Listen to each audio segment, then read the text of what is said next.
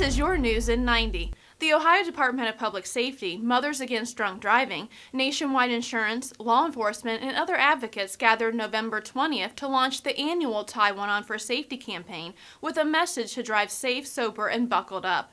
Gloria Polovsky, whose 11 year old granddaughter was struck and killed by a drunk driver on December 19, 2008, spoke at the event.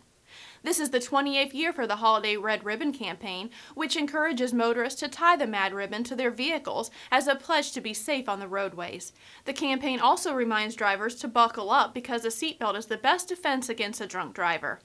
As part of the Safer Schools Ohio initiative, Ohio Homeland Security presented explosive detection canines to the University of Toledo, Kent State University, Cleveland State University, and Central State University last week and Ohio University today. The canines will aid in the response to potential bomb threats at universities and their surrounding communities.